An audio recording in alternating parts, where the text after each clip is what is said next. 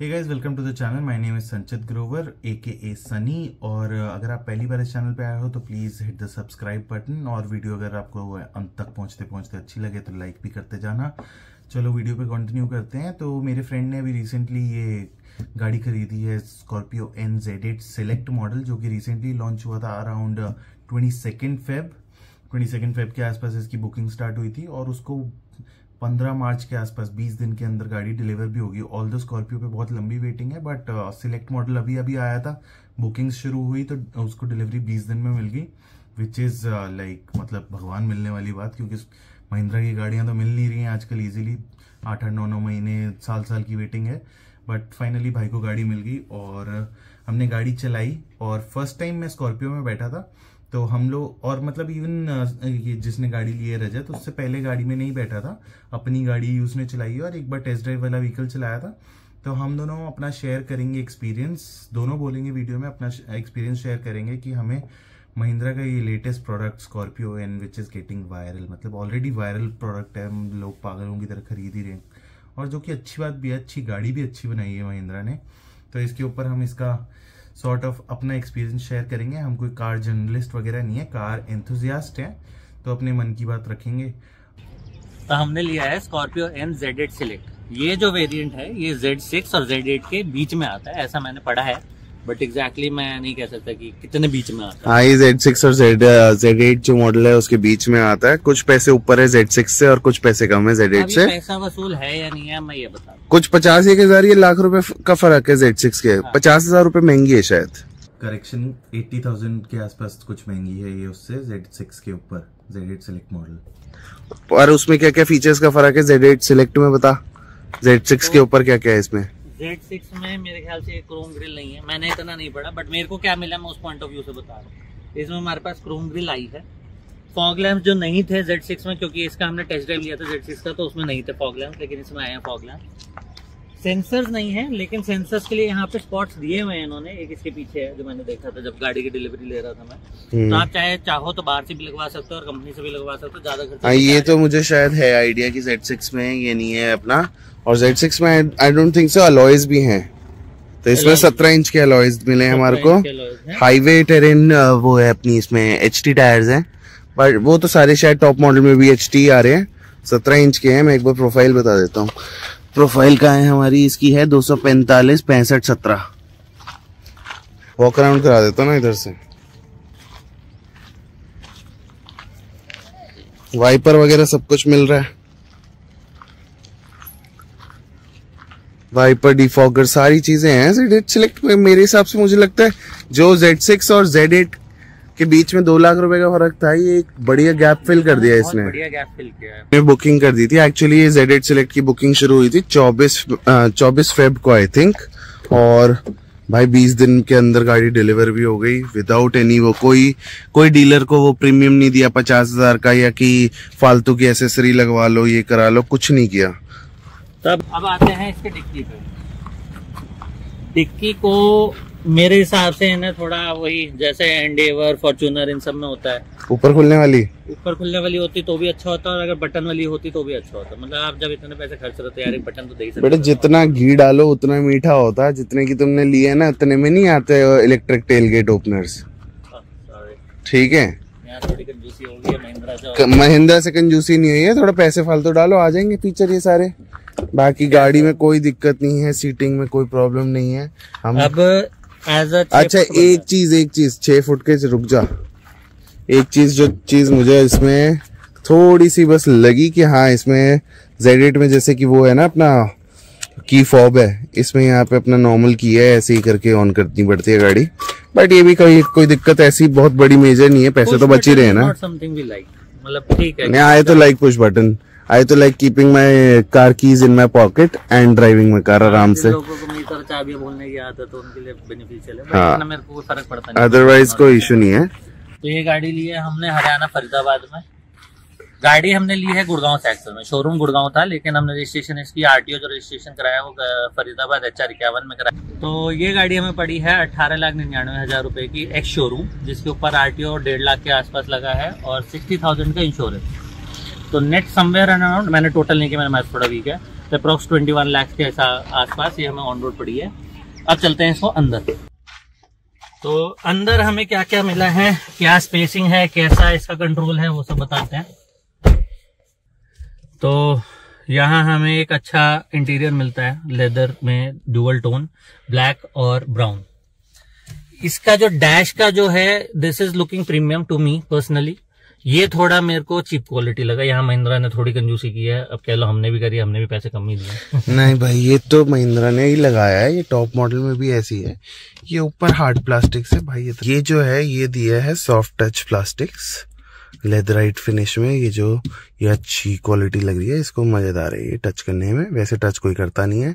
बाकी ये दिया है हार्ड प्लास्टिक आ, ये भाई साहब को थोड़ा चीप लग रहा है बट ये ऐसे ही होते हैं यार। इधर भी हार्ड प्लास्टिक्स है ये भी हार्ड प्लास्टिक है। This is just a painted panel ये सॉफ्ट टच है। तो बाकी ओवरऑल यार काफ़ी अच्छा फिनिश दिया है मेरे हिसाब से।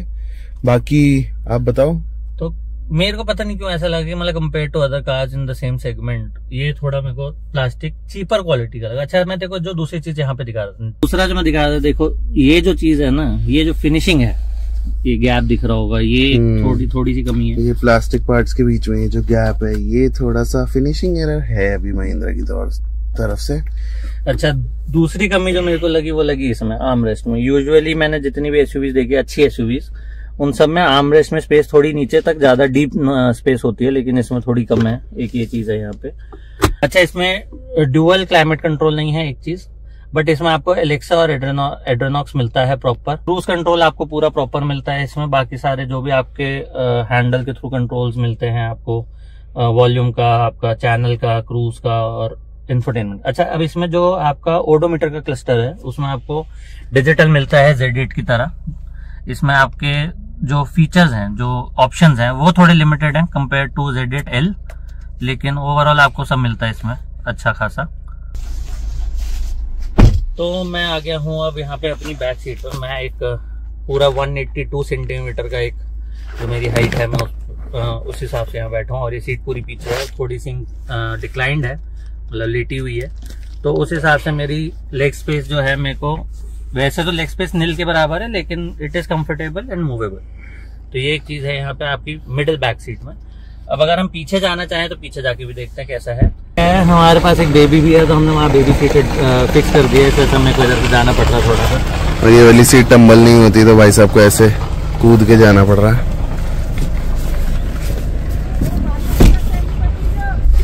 तब अगर मैं अपनी बात करूँ तो मैं छह फुट का हूँ और यहाँ पे मेरे लिए स्पेस बिल्कुल नहीं है मतलब मूवमेंट के लिए मेरे पास जगह नहीं है। लेकिन अगर मैं अकेला बैठूं तो मैं ऐसे बैठ सकता हूँ। रिक्लाइन एंगल इसका थोड़ा कम है लेकिन। तो पूरा तो हो ही नहीं रहा तेरी टांग लड़ रही है। मौत हो जाएगी मृत्यु।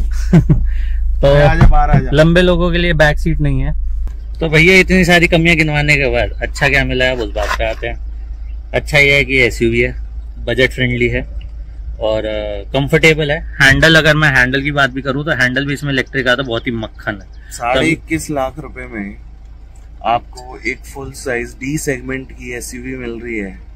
और क्या बच्चे की जान लोगे? डीजल में automatic diesel automatic Z eight है ये। इसमें आपकी सारी आगे की लाइट्स एलईडी वगैरह क्रूज कंट्रोल ये अपना क्या एंड्रॉइड ऑटो कारप्ले सब कुछ मिल रहा है। इसमें वो भी वायरलेस सनरूफ मिल रही है।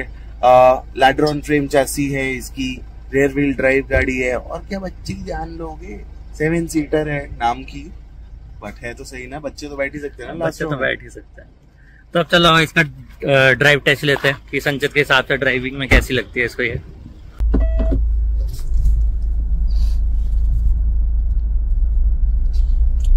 तो अभी हम ये वीडियो रिकॉर्ड कर रहे हैं सुबह सुबह मैंने ये जानबूझ के सनग्लासेस लगाए हुए हैं, क्योंकि मेरी आँखें नहीं खुलती हैं सुबह सुबह और ऊपर से मेरे को ले आया धूप में, गाड़ी चलाने के लिए। मैंने गाड़ी तो चलानी है, पर आँखें नहीं आँखें नहीं दिखानी है। बाकी अभी आते हैं गाड़ी के ऊपर। एक तो ये अपना ऑटोमेटिक गाड़ी सबसे सुख चैन की बात अगर आप दिल्ली एनसीआर में हो। भाई दिल्ली एनसीआर में ऑटोमेटिक के बिना आज के आज की डेट में आई डोंट थिंक सो काम चल सकता है। क्योंकि जिस हिसाब से ट्रैफ़िक बढ़ता जा रहा है घुटने बदलवाने पड़ जाएँगे मैनुअल चलाते हुए। और मेरे को लगता है ये बड़ी गाड़ियाँ जो होती हैं इनका तो क्लच इतना हैवी होता है कि कितना कितने सीसी का है ये? बाईस सीसी का इंजन है ये। मतलब इनके जितने भी मतलब बड़े इंजन होते हैं, उनमें क्लच थोड़े टाइम बाद शुरू में तो बहुत अच्छा होता है, थोड़े टाइम बाद टाइट होना शुरू हो जाता है और फिर वो क्लच वाट लगाना शुरू करता है। तो अनलेस आपका ड्राइवर चला रहा है तो तो ठीक है। अदरवाइज़ आप ऑटोमेटिक से प्रेफर करो। और ऑटोमेटिक की डीजल गाड़ियाँ हैं, इसकी माइलेज भी काफ़ी सही आएगी। लोकल में ग्यारह बारह के अराउंड और आई थिंक हाईवे पे पंद्रह सोलह तो आनी चाहिए इसकी। पेट्रोल में ये नहीं थी बिल्कुल भी। पेट्रोल में तो इसमें से छः से आठ के बीच में मिलती है हमारे को लोकल में। इसलिए हमने डीजल प्रेफर करी। और दूसरी चीज़ जो है, गाड़ी चला के कैसा मज़ा लगा? भाई, इंजन तो भाई महिंद्रा ने इतना रिफाइन कर दिया। क्या स्मूथ इंजन है भाई, ना आवाज़ करता, ना शोर मचाता। वो पुराने डीजल की गड़गड़ गड़गड़ जैसे होती थी ना, वो सब तो कुछ भी नहीं है भाई। इतने रिफाइंड इंजन है। कोई आवाज़ नहीं, कुछ नहीं। गाड़ी पंजे दबाते भागती है। ऐसे शूट एकदम परफेक्ट मतलब अभी तक तो मुझे वो सही लगा। बाकी बॉडी रोल वगैरह का तो खड्डो वड्डो और जब हम हाई स्पीड्स में आप कट्स वगैरह लेते हो तब पता लगेगा। वो भी देखेंगे वो भी अपडेट करते रहेंगे धीरे धीरे हम आपको अच्छा दो चीज़ें और जो इसमें नहीं है ये इसमें आपके एट स्पीकर्स की जगह सिक्स स्पीकर्स है दो ट्विटर और चार डोर स्पीकर्स जो यहाँ का वूफर और पीछे के वूफर्स है वो हमें नहीं मिले हैं। एक हमें ऑटो वो वैसे भी नहीं आते भाई मेरे वो सिर्फ़ जेड एट एल में आते हैं। जेड एट में तो वो भी नहीं आते। वही मैं बता रहा हूँ। लेकिन लेकिन ओवरऑल साउंड सिस्टम इसका अच्छा लगा हमें। हमें ऐसी कोई नीड नहीं लगी कि हमें और स्पीकर लगवाने की ज़रूरत है। हाँ। और हमें auto dimming rear view mirror नहीं मिलता। ये भी आप बाहर से लगवा सकते हो with dash cam in built जो हम कल पता कर रहे थे। वो था somewhere around nine thousand five hundred का हाइपरसोनिक का। तो वो भी यहाँ पे अभी फिट हो सकता है आपका। तो it is overall a good deal I feel तो दुनिया जहाँ के फीचर करवा लो कि ये भी है वो भी है। यूज़ कितने होते हैं? मेरे हिसाब से गाड़ी में सबसे बढ़िया फीचर जो तीन चार होते हैं ना वो ये होते हैं। एक गाड़ी होनी चाहिए ऑटोमेटिक प्राइमरी एनसीआर में रहते हो तो। दूसरा गाड़ी में एसी होना चाहिए। तीसरा म्यूज़िक सिस्टम होना चाहिए। और गाड़ी ठीक ठाक सेफ़ होनी चाहिए। बस ये चार फीचर सेफ्टी से मेरे को याद आया सेफ्टी भी अच्छी है इस गाड़ी की। सेफ्टी के मामले में इसमें सिक्स एयर बैग्स हैं। तो सेफ्टी के मामले में भी ये गाड़ी बिल्कुल टॉप एंड टॉप है। अरे फाइव स्टार है भाई फाइव स्टार रेटेड है जीएन कैप से भाई। और क्या लोगे, बच्ची जान लोगे क्या? टू टू एयर बैग्स वाली भी फाइव स्टार रेटेड थी। ये तो सिक्स एयर बैग्स है। बट दैट डजेंट मीन कि आप गाड़ी बदतमीजों की तरह तरह चलाओ। गाड़ी आराम से चलाओ, क्योंकि भाई एक लिमिट होती है गाड़ी की भी आपको बचाने की तो गाड़ी प्यार से चलाओ। बाकी गाड़ी बहुत बढ़िया है। हमारी तरफ़ से ओके की रिपोर्ट है। आप लोग भी जाके जेड एट सिलेक्ट अपने अपने नियर बाय महिंद्रा शोरूम में जाके चेक चेकआउट कर सकते हो। कोई स्पॉन्सर्ड वीडियो नहीं है, जैसे मैं बोल रहा हूँ, वैसे मुझे लगा ऐसा कि स्पॉन्सर्ड साउंड करती है बट जाके चेकआउट करो, गाड़ी बढ़िया है।